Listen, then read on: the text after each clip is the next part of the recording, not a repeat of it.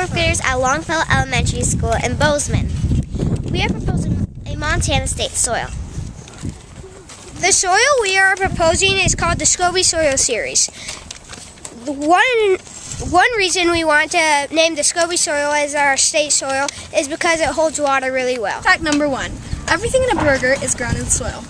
The, the buns come from the wheat that's grown in the soil, the lettuce grows in the soil, the onions grow in the soil, the tomatoes grow in the soil, and the meat comes from the cows that eat the grass that grows in the soil. And who doesn't love burgers, right?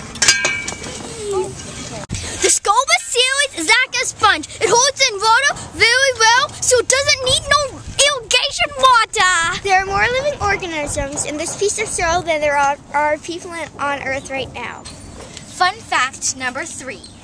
Did you know we make $4.7 billion a year off agriculture, supporting farmers across the state?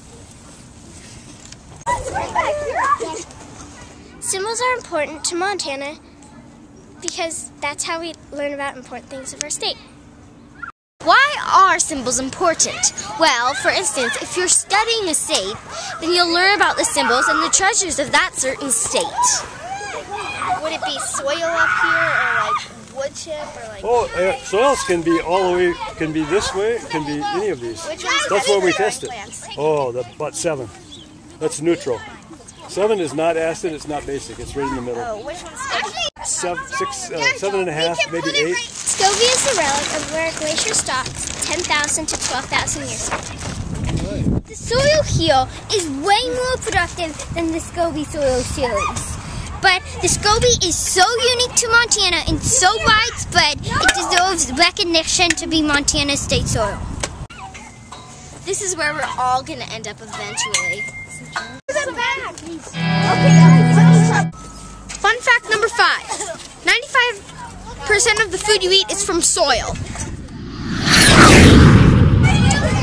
Thanks for listening. You can follow our movements on montanasoil.weebly.com and support us and sign our petition at change.org. Your, we would love your support.